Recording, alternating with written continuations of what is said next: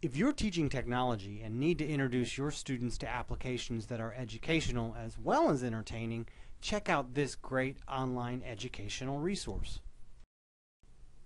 In October, students who can access the e-edition of the Dallas Morning News can play some educational games about dinosaurs. It's brought to Newspaper in Education from Walking with Dinosaurs, the Arena Spectacular, stomping into Dallas at the American Airlines Center this October 21st through the 25th. When students log into the e-edition of the Dallas Morning News at nie.dallasnews.com and click on the Walking with the Dinosaurs link, they can play Digging for Dinosaurs, where they use several tools to dig through different layers to uncover a dinosaur fossil.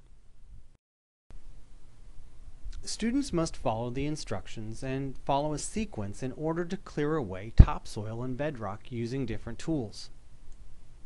Each tool has a specific purpose and function when used appropriately. They use the mouse to make the tool work and remove dirt.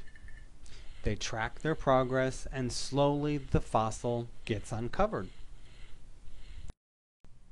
Be sure to check out the other dinosaur games that teach a variety of lessons in an interactive and engaging way through technology. It's all on the introduction page of the e-edition of the Dallas Morning News at nie.dallasnews.com.